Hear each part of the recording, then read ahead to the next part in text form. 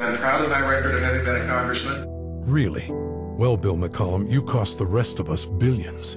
He voted four times to raise his own pay, $51,000. Our tax money pays his congressional pension, over $75,000 a year. The national debt skyrocketed, $4.7 trillion. McCollum voted for debt limit increases five times.